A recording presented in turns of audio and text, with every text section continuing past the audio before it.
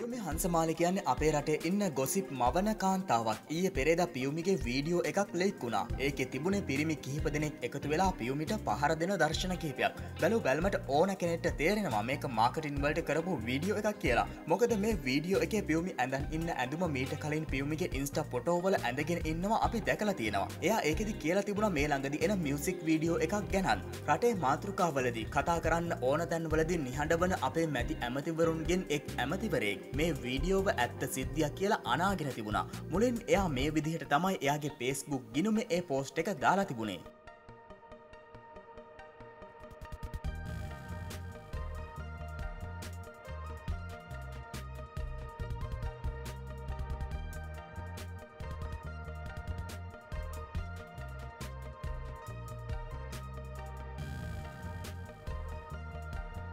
හැබැයි පස්සේ එයා එයාගේ පෝස්ට් එක මේ විදිහට වෙනස් කරලා තිබුණා.